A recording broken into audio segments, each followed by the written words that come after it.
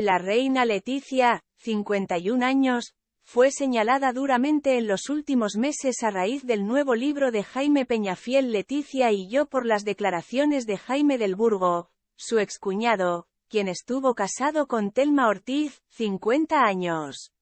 Hasta el momento ella no había prestado declaraciones. Desde Zarzuela prefieren hacer oídos sordos a todas las acusaciones de deslealtad que Jaime del Burgo está volcando contra la reina, mientras en las redes sociales hay una campaña de defensa.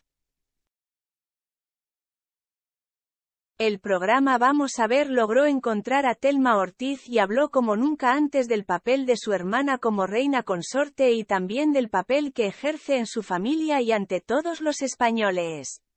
Vamos a escucharla hablar maravillas de la reina Leticia, es la primera vez que la vemos hablar en estos términos, adelantó Adriana Dorronsoro.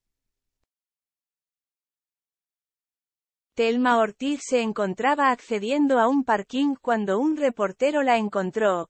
Lejos de evadir las preguntas o escaparse, se quedó escuchando lo que tenía que decir.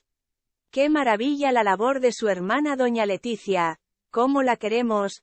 Dijo el periodista sobre la reina Leticia y su hermana respondió, yo también la quiero mucho. Luego de eso, el reportero insistió, la mejor hermana, ¿verdad que sí?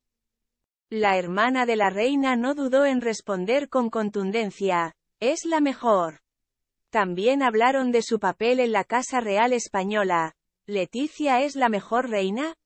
Es una gran reina. Nos ha conquistado a todos, Imagino que a ti también, dijo el periodista y Telma dejó en claro, a mí ya me venía de serie.